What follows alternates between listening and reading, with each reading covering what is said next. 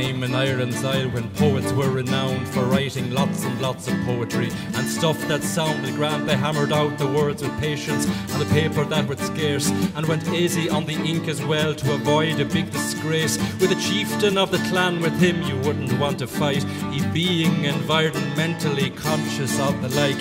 The amount of paper they would use that put him on a spot, he decreed they'd have to leave the H and replace it with the dot. Long live the buailte!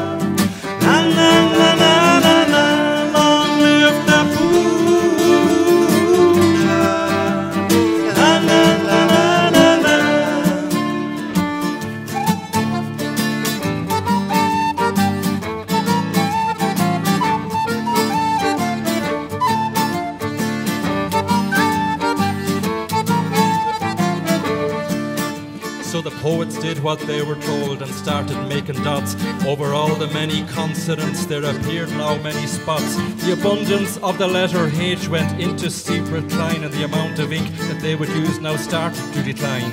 The idea caught on and soon it landed in Bunratty, and the buailte they were using even up in Gladamaddy.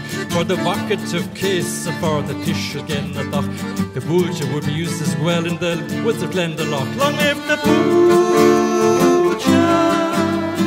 la la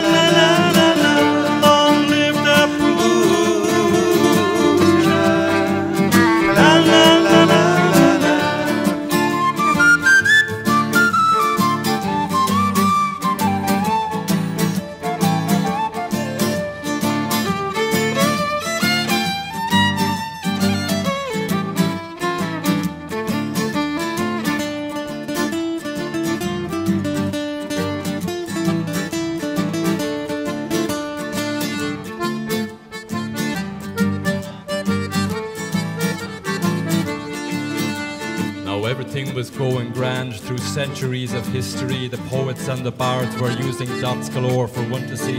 The Proclamation of Independence of 1916, the buailte made it through the GPO and from the fire was redeemed. No doubt it made its last appearance in a manuscript after hours of many contemplation whiskies that were sipped.